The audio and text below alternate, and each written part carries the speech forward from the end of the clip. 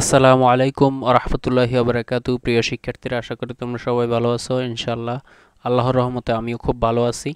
আজ আমি তোমাদের সাথে নবম শ্রেণির যে গণিত যে অ্যাসাইনমেন্টটি আছে, তৃতীয় সপ্তাহের, এটি নিয়ে হাজির হয়েছি। এটি তৃতীয় সপ্তাহের প্রথম অ্যাসাইনমেন্ট আজকে আমরা যে বিষয়টি নিয়ে আলোচনা করব, সেটি হচ্ছে একটি উদ্দীপক দেওয়া আছে। উদ্দীপকের আলোকে চারটি সমস্যার সমাধান করতে হবে। এখানে তোমরা যে শিরোনামটি লিখবে, সেটি হলো বীজগণিতিক রাশি বা বীজগণিতিক রাশি এটা অ্যাসাইনমেন্ট হবে, তৃতীয় সপ্তাহের অ্যাসাইনমেন্ট ওয়ান গণিতের। এখানে দেওয়া আছে A is equal to X square minus two X plus one B is equal to X square minus root over of three X plus one এবং C equal to X square plus ten X plus sixteen এখানে বলা হয়েছে নিচের সমস্যাগুলো সমাধান করো। সমস্যাগুলো কি কি? সমস্যা এক হলো এজ ইকুয়াল টু জিরো হলো এক্সের মান নির্ণয় করো। সমস্যা দুই, এটা হলো সি রাশিকে দুটি বর্গের অন্তরূপে প্রকাশ করা কি সম্ভব? উত্তর স্বসাপেক্ষে গাণিতিক যুক্তি সহ উপস্থাপন করা, অর্থাৎ সি রাশিকে কি দুইটি অন্তর্বর্গরূপে বা অন্তররূপ বর্গের প্রকাশ করা সম্ভব? এটাকে আমাদেরকে যদি সম্ভব হয়, তাহলে এটার পক্ষে যুক্তি দিতে হবে, আর যদি এটা অসম্ভব হয়, তাহলে এটার পক্ষে যুক্তি দিতে হবে। সূর্যের সূত্রের সাহায্যে এ স্কোয়ারের মান নির্ণয় করো। এবং সমস্যা চারে যেটা দেওয়া আছে সেটা হলো ফিজিক্যাল টু জিরো হয়, তবে X square plus one by X square এবং X cube plus one by X cube এর মান পরস্পর সমান হবে কি? গাণিতিকভাবে যুক্তি উপস্থাপন করে। এটি হলো সম্পূর্ণ গাণিত যেই আমাদের অ্যাসাইনমেন্টটা আছে, এটার মূল অংশটা হলো চার নম্বর সমস্যা। আমাদেরকে এখানে একটা নির্দেশনা দিয়ে দিচ্ছে সেটা হলো সূত্র ব্যবহার করে এক্সের মান নির্ণয় করবে। এক, দ্বিতীয়ত, যুক্তি উপস্থাপন করে রাশিকে দুটি বর্গের অন্তরূপে প্রকাশ করবে। তৃতীয়ত, উল্লেখিত রাশির সাহায্য নিয়ে X square plus one by X square এবং X cube plus one by X cube এর মান নির্ণয় করে নিজস্ব যুক্তি উপস্থাপন করবে। প্রিয় শিক্ষার্থীরা, এটা ছিল আমাদের যেই প্রশ্নপত্র সেটি। প্রিয় শিক্ষার্থীরা, তোমাদেরকে একটা কথা বলে রাখি, যারা আমার চ্যানেলে নতুন, তারা অবশ্যই আমার চ্যানেলটি সাবস্ক্রাইব করবে, পাশে থাকা বেল আইকনটি বাজিয়ে দেবে, যাতে পরবর্তী ভিডিও ছাড়ার সাথে সাথে তোমরা পেয়ে যেতে পারো এবং যারা আমার চ্যানেলে পুরাতন আসো সাবস্ক্রাইব অলরেডি করে ফেলেছো, তাদেরকে অসংখ্য ধন্যবাদ আমার চ্যানেলের পাশে থাকার জন্য। এখন আমি সরাসরি উত্তরে চলে যাব। প্রিয় শিক্ষার্থীরা, এখানে তোমরা দেখতে পাচ্ছ উত্তরটি একটু একটু কষ্টকর মনে হলেও এটা তোমরা একটু দেখে নেবা, কষ্ট করে। সেটা হচ্ছে, এখানে নবম শ্রেণি বিষয় গণিত দেওয়া আছে। আচ্ছা আমরা প্রথম প্রশ্নের উত্তরটা করতে আমরা দেখে নিই প্রথম প্রশ্নটা কি আছে। প্রথম প্রশ্ন A is equal to zero হলে এক্সের মান কত? A is equal to zero দেওয়া আছে A is equal to X square minus two X plus one প্রশ্ন মতে A is equal to zero বা এ সমান সমান এখানে কি দেওয়া আছে? X square minus two X plus one এটা দিয়ে দিলাম ইজ ইকুয়াল টু জিরো এবার আমরা এখানে একটা সূত্র দেওয়া যায়, যেমন আমরা জানি A minus B whole square সূত্র হলো A square minus two A B plus B square এটাকে বাংলাম না, আমরা এখানে একটা লাইন কমাই দিয়ে এখানে লিখলাম X minus one whole square এটাকে আমরা ধরলাম A square minus two A B plus B square এইটাকে নিয়ে আমরা এই সূত্রটা লিখলাম X minus one whole square is equal to zero আমরা দুই পাশকে বর্গ করে এখানে বর্গটা উঠাই দিলাম, অর্থাৎ শূন্য বা জিরোকে বর্গ করলে জিরোই হয়। এজন্য এই পাশের থেকে বর্গ উঠাই দিলাম থাকল কি X minus one is equal to zero সুতরাং X is equal to one এখানে মাইনাস ওয়ান এই পাশে আসলে হয়ে যায় প্লাস ওয়ান এজন্য এক্সের মান আমরা পাইলাম কি ওয়ান অর্থাৎ প্রথম সমস্যার সমাধান পাইলাম ওয়ান দ্বিতীয় যে অঙ্কটা আছে সেটা আমরা একটু করে নেই।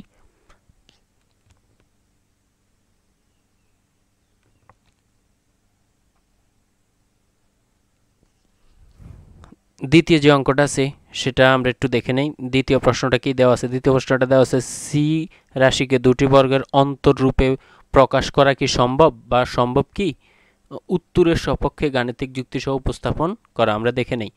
দেওয়া আছে C equal to X square plus ten X plus sixty অর্থাৎ সি রাশিকে দুটি বর্গের অন্তরূপের প্রকাশ করা সম্ভব।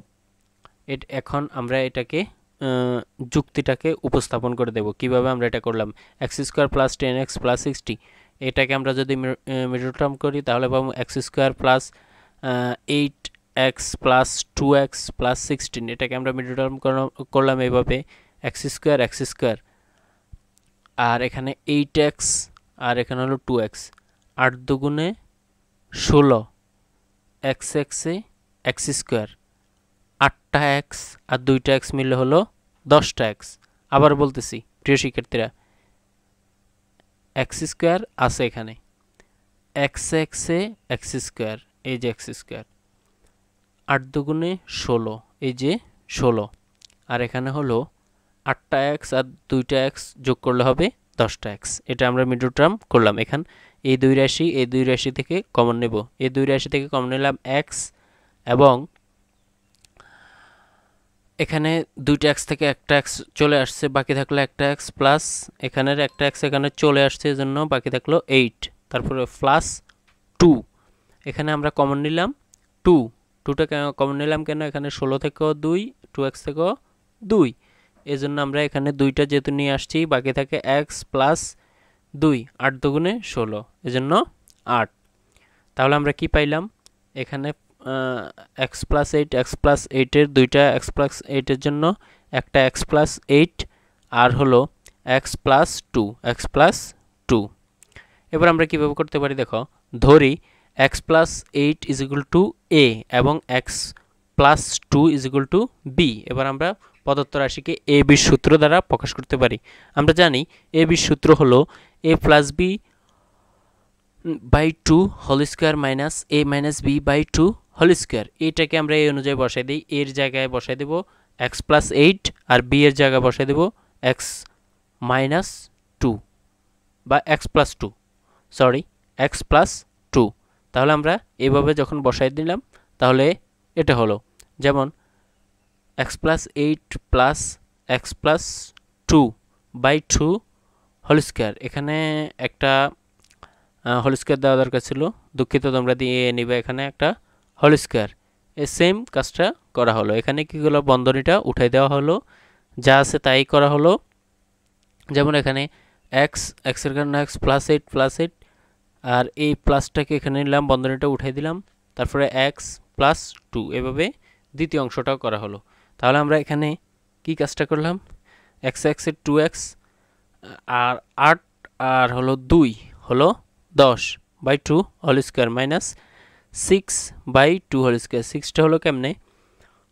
X plus X minus X কাটা প্লাস এইট থেকে মাইনাস টু প্লাসে মাইনাসে মাইনাস আট থেকে দুই গেলে থাকে ছয়, অর্থাৎ six by two whole square আমাদেরকে এবার এর পরের অংশ এখান থেকে আমরা করে নিলাম। কীভাবে করলাম? টুটাকে আমরা এখানে কমন নিলাম। টুটাকে কমন নিলে এক্স প্লাস ফাইভ থাকে। আর নিচে টু হোল স্কোয়ার আর এখানে আমরা কি করলাম? তিন। ছয়কে আমরা দুই দিয়ে ভাগ করলাম। তিন হলো থ্রি হোল স্কোয়ার এখানে আমরা করলাম, দুপাশ থেকে স্কোয়ার ভাগ করলাম দুই দিয়ে। যেমন এখানে আমরা এই টু আর স্কোয়ার কাটা দিয়ে দিলাম।